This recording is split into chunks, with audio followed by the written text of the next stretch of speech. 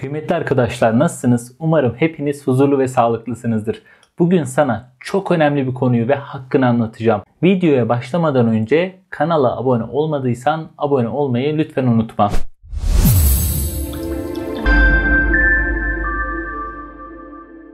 Ülkemizde bazı şirketler var. Misalen iletişim şirketleri. Türk Telekom, Vodafone, Turkcell gibi. Bu şirketlerden telefon, televizyon yayını ya da internet gibi bazı abonelikler alıyorsun.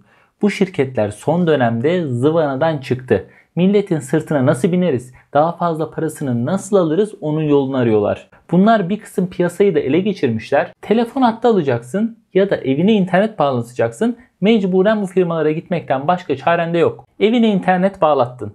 İnternet diyelim ki çok yavaş sana taahhüt ettikleri hızda değil ya da başka firmada daha ucuz olduğu için telefon hattının aboneliğini iptal edip farklı bir operatöre geçmek istiyorsun. Müşteri hizmetlerini arıyorsun. Tamam kayıt açalım diyorlar. Ama sorununu çözmüyorlar. Sözleşmeyi feshedeceğim dediğinde de daha şu kadar taahhüdüm var. Eğer feshedersen efendim yüksek miktarda şu kadar parayı ödemek zorunda kalırsın diyerek üstü kapalı tehdit edip korkutuyorlar. Vatandaşlarımızın yarısı ya el mecbur interneti yarım yamalak kullanmaya devam ediyor ya da taahhüdü pes edip çıkan cezayı ödüyor. Bakın arkadaşlar efendim ben bunlarla baş edemem.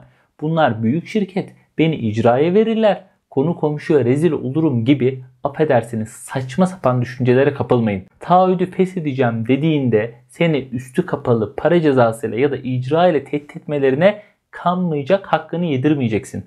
Bu şirketlerle abonelik yaparken genellikle ya 1 yıl ya da 2 yıl taahhüt vererek sözleşme yaparsın. Şunu unutma. 1 yıl veya daha uzun abonelik sözleşmelerinizi tekrar söylüyorum 1 yıl veya daha uzun abonelik sözleşmelerinizi istediğiniz zaman hiçbir gerekçe de göstermeden, hiçbir cezayı şartla ödemeden sözleşmeyi feshetme hakkın var. Evet doğru duydun. Hiçbir gerekçe göstermene bile gerek yok. Sen sözleşmeyi feshediyorum dedikten sonra seni arayacaklar.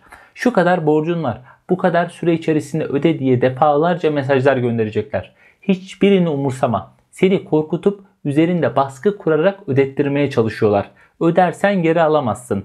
Sen sözleşmeyi feshettiğini şirkete bildirdikten sonra en geç 7 gün içinde gerekli iptal işlemlerini yapmak zorundalar. Sen sözleşmeyi feshettiğini bildirdikten sonra kapama işlemlerini yapmadıysalar hizmetten yararlanmaya devam et sen bile senden kesinlikle herhangi bir bedel, para talep edemezler. Ben sana sözleşmeyi feshettiğimi bildirdim mi kardeşim? E kapatacaktın. Bu kadar.